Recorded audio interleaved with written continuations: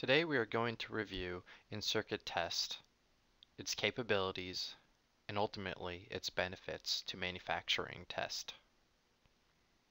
As a quick review, Solution Sources Programming is a test and measurement firm specializing in design for test, boundary scan, in-circuit test, and functional test and system integration. What is in-circuit test? In-circuit test is a combination of many different instruments into one piece of capital machinery.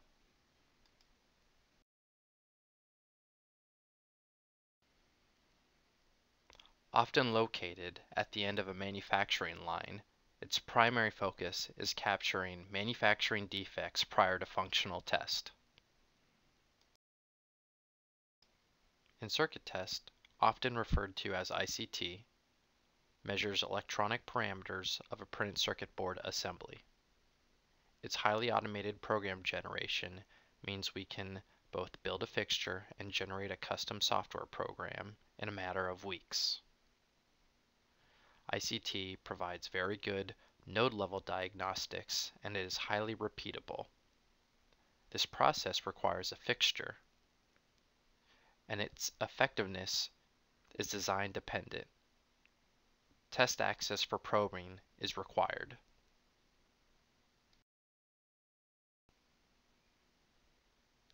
When people ask me about in-circuit test, I often tell them the goal of ICT is to capture manufacturing defects. This includes tombstoning, solder shorts, missing components, lifted pins, or poor soldering. Defects per million opportunity numbers and numbers of defect opportunities are key factors impacting yields. This slide shows yields at the y-axis.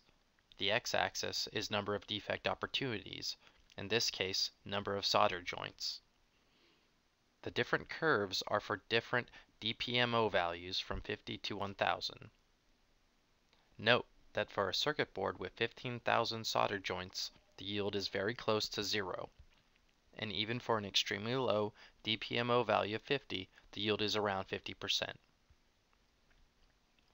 Also, for a board with only 5,000 joints, you can see that yields are low for the most. The formula used can be seen on the bottom of the slide. This assumes total random defects. In real life, you typically have clusters of defects so in that case, you typically see slightly higher yields. In order for an application to achieve the highest level of coverage possible, it is common for people to implement design for testability reports.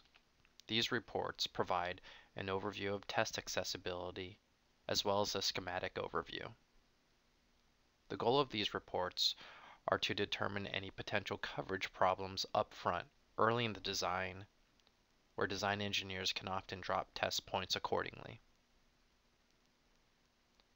By incorporating a good DFT report, engineers are able to ensure that their product is in a position to take full advantage of modern testing techniques.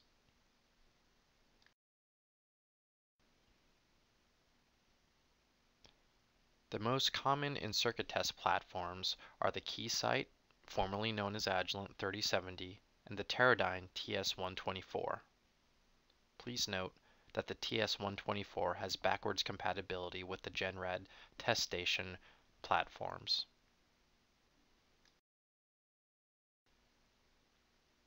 In-circuit test development consists of a base platform as previously shown, a fixture and software development, and for today's modern products, in-circuit testing often includes advanced boundary scan development. Some applications also include a portion of functional test integrated at in-circuit test. The following are examples of ICT fixtures. They can range from extremely large complex fixtures with pneumatically actuated cylinders to standard wired fixtures and everything in between. The focus is to create a quality, reliable, and sustainable fixture that can last the duration of the product.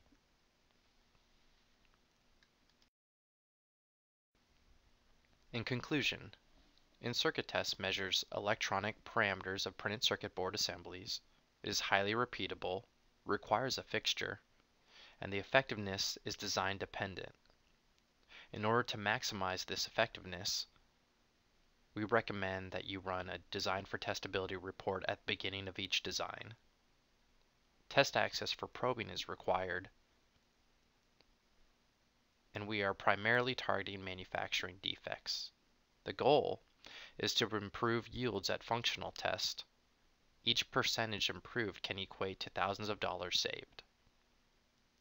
In conclusion, work with SSP up front to get a proper DFT in place and prepare your design for a robust manufacturing test strategy.